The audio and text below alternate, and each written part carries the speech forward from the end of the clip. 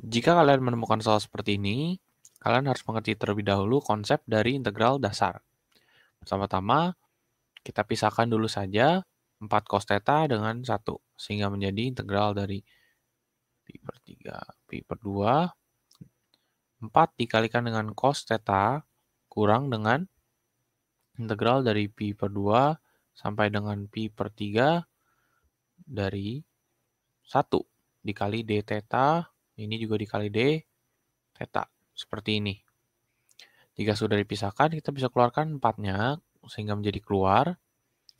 Jadi 4 dikalikan dengan integral pi per 2 sampai dengan pi per 3 dari cos theta d theta.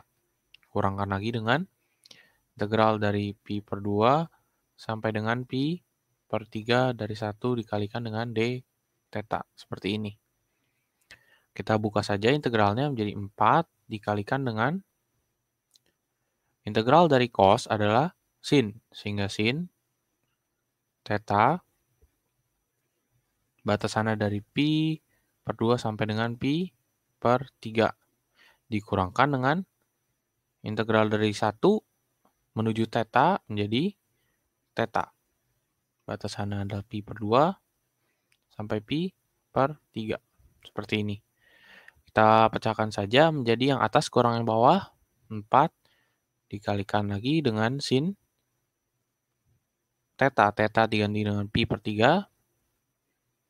Kurang dengan sin pi per 2.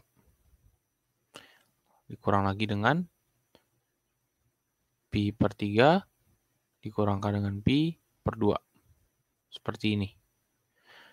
Lalu 4 dikalikan lagi dengan sin pi per 3 berarti 180 bagi 3 yaitu sin 60. Sin 60 adalah 1 per 2 akar 3.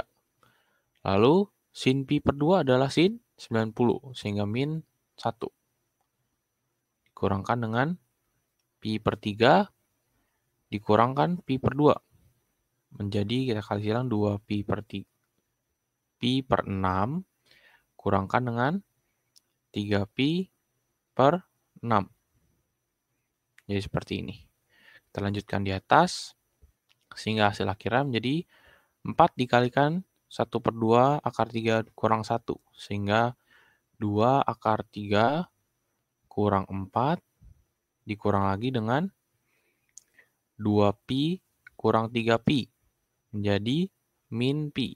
Min pi dikali min jadi plus pi per 6. Hasil akhirnya menjadi seperti ini dari proses integralnya. Sampai jumpa pada pertanyaan berikutnya.